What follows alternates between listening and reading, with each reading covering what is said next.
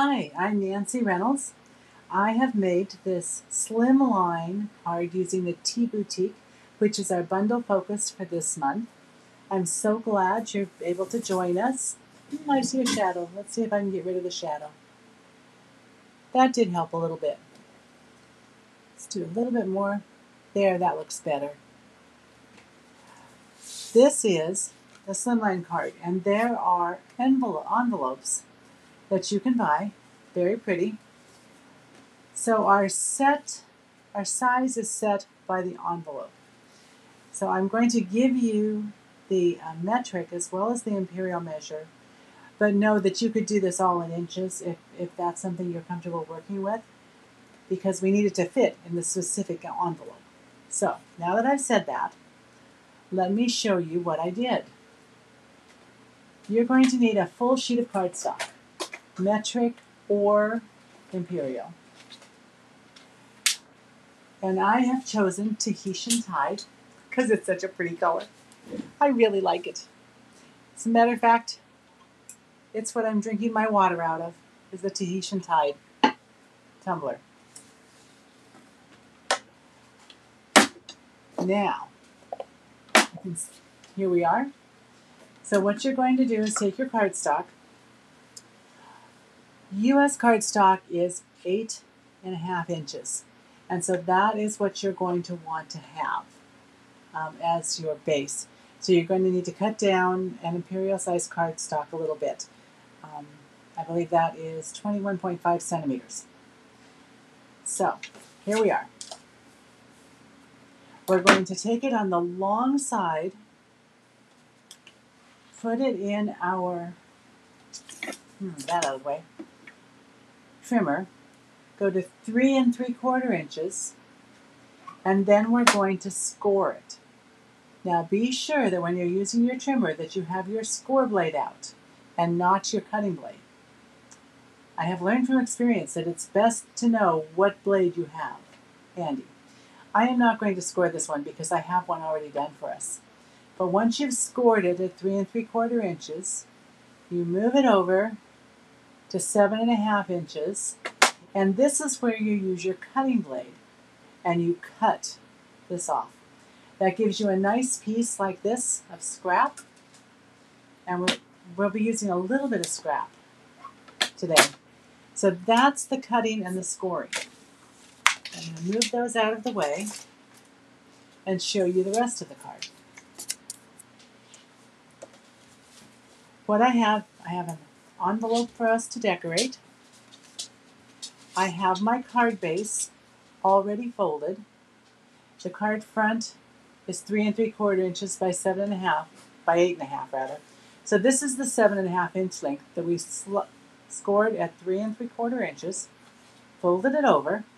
So that's 9.5 centimeters by 21.5 centimeters. There's our card base. Layer one is basic white cardstock. And you're going to cut two of these because you want one inside. Oh, that's the envelope. Sorry about that. You're going to want one on the outside and one on the inside.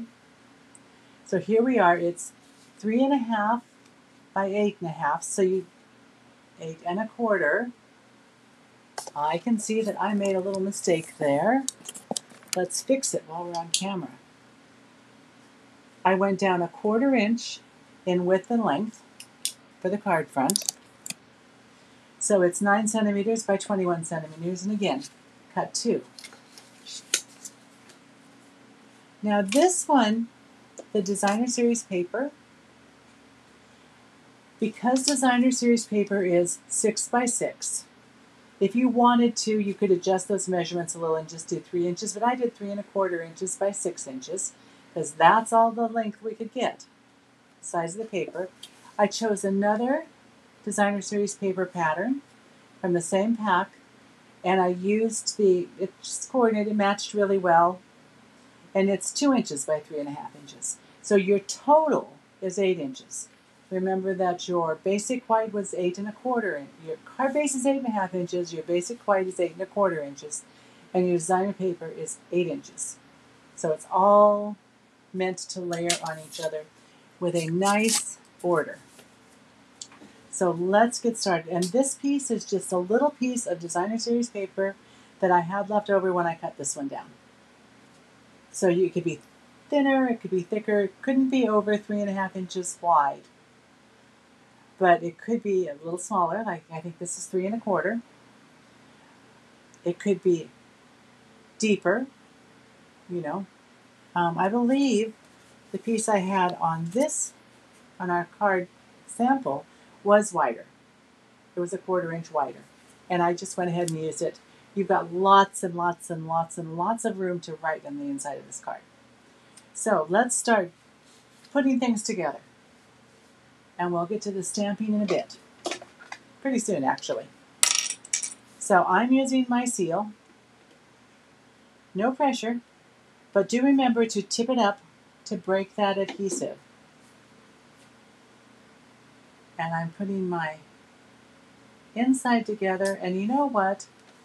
Since I'm not going to be stamping on it, I am just going to put some seal on it. And we'll put it right on the card. Now that one got a little messed up, so I'm either going to advance it with my finger, which makes me sticky, and I don't really like to be sticky, or you can take your silicone mat and it will catch it. And that's really easy to clean up. So there we go. We're going to put this on the inside. And just, you know, center it because it's made to layer. If you center it on three sides, the fourth side is going to pretty much take care of itself. There's our inside. Now we're going to put our designer series paper on our other piece of basic white. I'm going to move this envelope out of the way. And I'm going to do the same. Actually, I kind of like using Tombow because then it gives you a little bit of wiggle room. So let's use Tombow. Just put a little on. Multi-purpose glue is great. It's actually my my go-to most of the time. I do find that it can show through the basic white, if that's your top layer. Like on the inside, I didn't want anything to show. So that's why I use my seal for there. Well, looks like this could be trimmed just a tiny bit. It's a little bit long. Maybe I didn't take it up quite as high as I should have. That is an easy thing to do.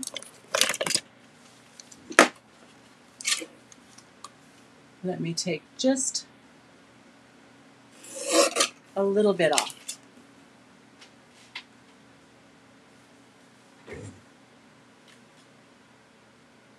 There we are. That looks better. Hmm. That is important. We don't want to lose that. That's our stamping, one of our stamping pieces. Here we are.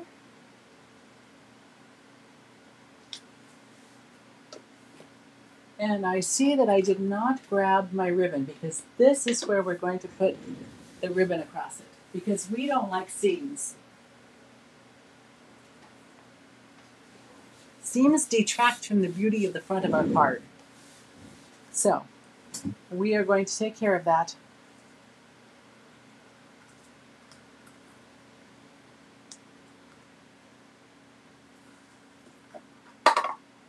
Let's see.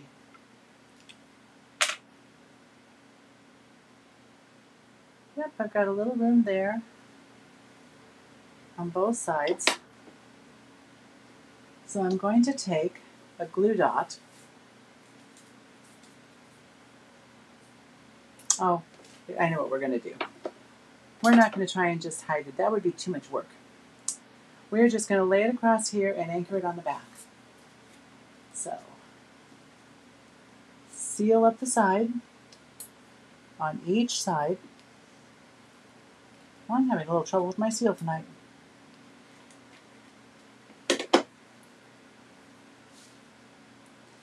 I'm going to pull my silicone mat over because nothing sticks to it. no adhesives, even hot glue doesn't stick to it. Give myself a little bit of a room and take it and wrap it around on the back and catch it in that, that seal. The same with this one, and I'm not going to cut it off until afterwards because I don't want a big tail hanging out. Grabbing my ribbon scissors, doing a quick little trim, and that is all the ribbon we are going to use. This is ready to go down. Let's go ahead and use our Tombow. See how quickly this is going together, but it's so much fun. It's a fun card to give. Partly because it's a little bit different being a slimline card. Center that on, or close to centering it on. Now, I have to tell you that I really, really, really like Wink of Stella. And this card doesn't have a lot of sparkle. So I decided to sparkle up the lemon and all of the little flowers on the teapots and the centers of the little ones that are on the outside of it. There's another lemon. Some of these will get um, an embellishment for the center, but I'm not sure which ones yet, so, so we will sparkle our flowers. I found it easier to do it in a kind of an organized manner working from the seam up. Otherwise, I get confused as to what I've done. Although, extra sparkle never hurts. That's my motto. I love sparkle. Can we ever have too much? The answer to that question would be no. Well, in most cases. And it just paints on, sparkle paints on so nicely. And let's see, we've got a few down here. We can use little centers on them, on the little yellow ones and the little pink ones, which I believe that color is Blushing Bride, not just pink. Okay, as long as the Wink of Stella is out, I will tell you that when I did this card, I put it together and then decided that the decorative outline on the cup needed to be sparkly. Yeah, let's work on the silicone mat. It'll be a little less messy. And then realized that it would have been so much easier if I had done that before I put it on the card. So today we are going to sparkle first and then adhere to the cup. Because then you don't have to be quite as careful. There we are. Wink of Stella all over the cup decoration, kind of sparkly. I'll put it aside for a moment. Now, you'll see what we still have to do. I have already cut the cup. Oh, I didn't show you the dies. This is the cup of tea set. It comes with the dies, and these are the dies I've used. The tea tag, the cup, and the decorative piece.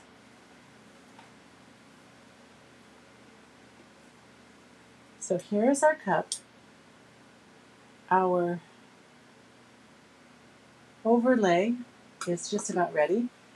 And all I'm going to do is very carefully put a few little daubs of Tombow. You could use our adhesive sheet on this, which probably would make it easier to adhere to the cup. But Tombow gives wiggle room. And I find that I, I, I value wiggle room. So a little bit over here. Because I want this to lay down. A little more on the bottom. And this corner. And then I'm just going to put them together and wiggle it into place. You do need to give it a little bit of pressure and a little bit of time to totally set. See, there was wiggle room.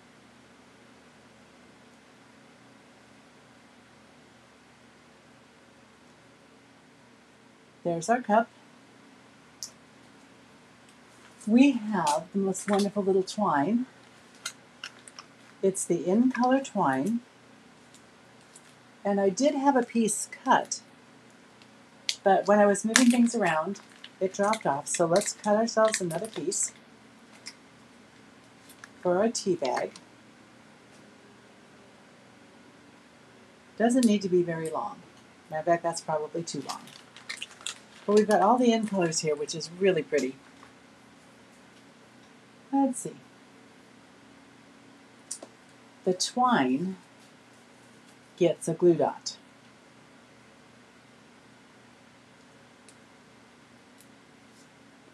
And then it is going right on the back of the cup.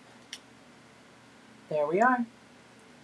Because we'll glue our little tag to it very soon.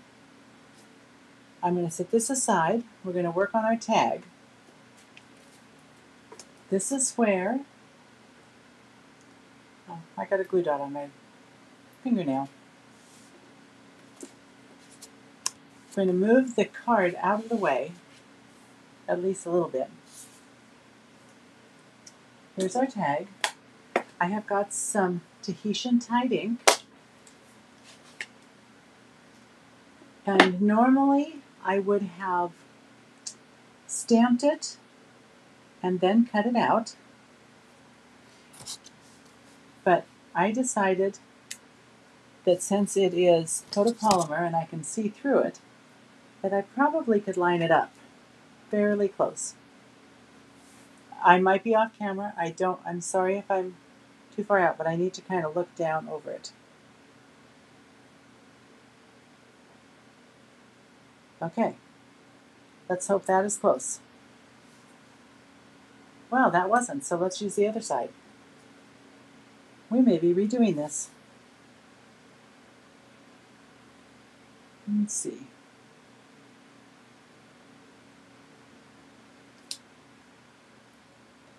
Oh, that was sad. So perfect stamping is not in my repertoire today.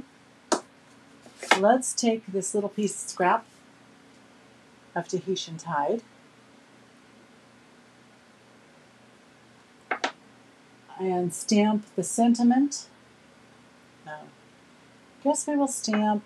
I made a little mess.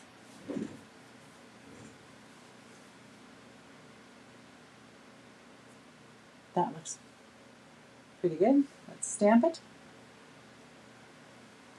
Then let's put our sentiment inside of it. It's time for tea. We'll put this right in here.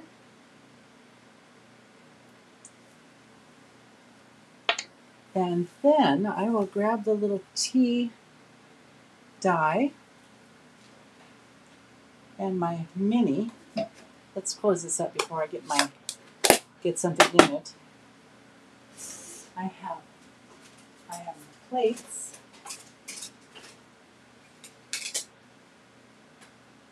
So we need a sandwich is one and a two and another two.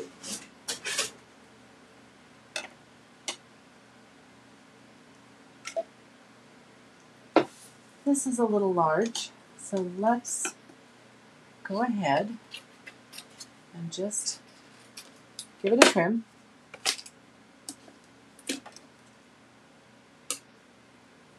That on. This goes on.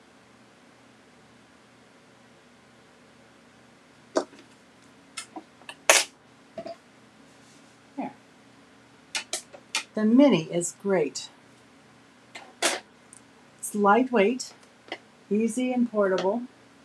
I put mine on my silicone mat. I will need to be able to turn this because that helps anchor it in place so it doesn't slip around on the paper.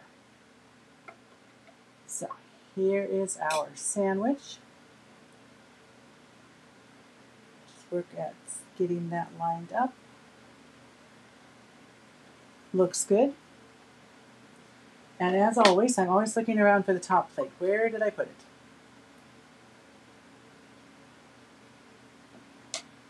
There it is.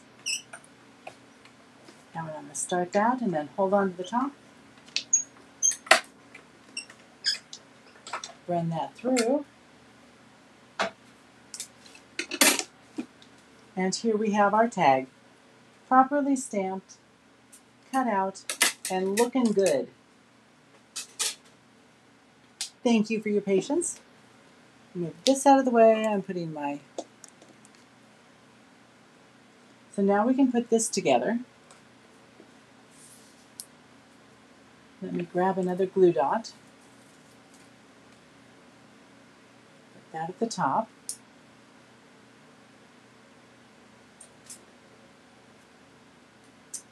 I think we will look and see about how long we want it.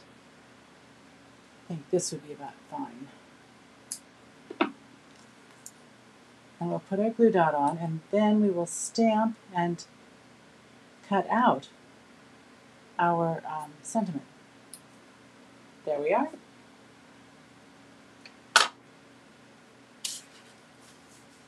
Back to Tahitian High Tide and Tahitian Tide ink. I really do like this color. I hope you do too. This says, let's get together soon. I think I'll put that over here. Give it just a second to transfer the ink. And then, oh, sorry, I shouldn't have reached across. I should have used my other hand. But here we are.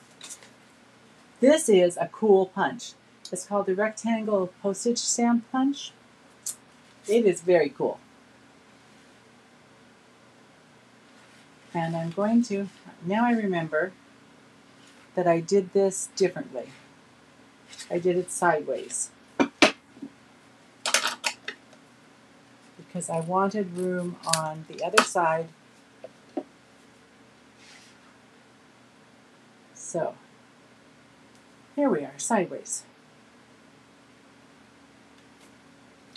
The punch is so nice. I really like that punch. I just put this down flat, a little Tombow.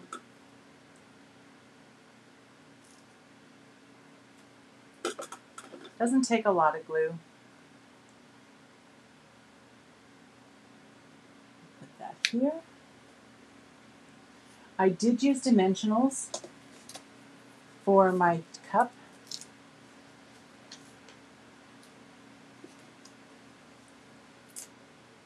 because I thought we could use just a little bit of depth and interest.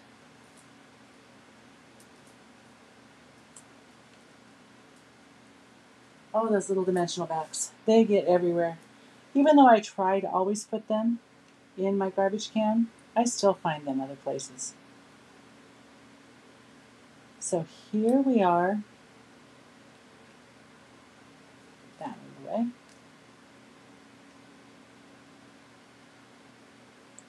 And you know what I need? Just a little bit of support under the, the cup.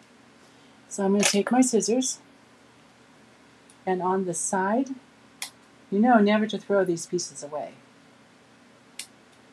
I love the side pieces that are dimensionals.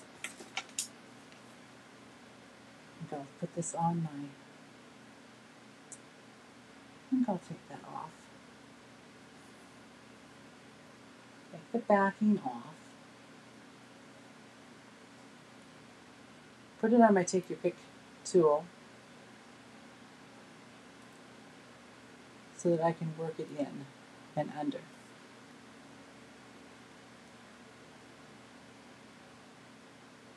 There. Now my cup handle has a bit of support. Well, I would like to leave this free. I think it's going to get caught when it goes in and out of the envelope. So I am just going to take a glue dot.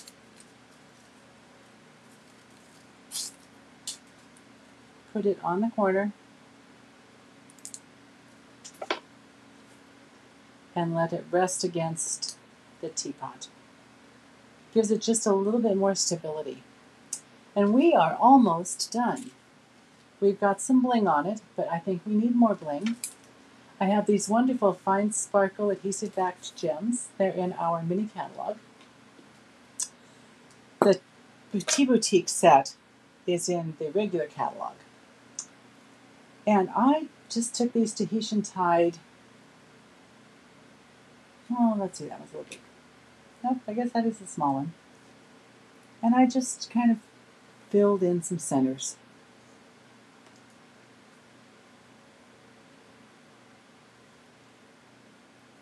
And then I did a large one at the bottom. And then I decided three really wasn't enough. And while we want to keep our um, numbers odd, has to do with the Fibonacci principle, I think five should do it. So there's one, two, three, four, five. And there is our card. Now all we need is, we've got a pretty card, we've got a pretty inside, we need to have a pretty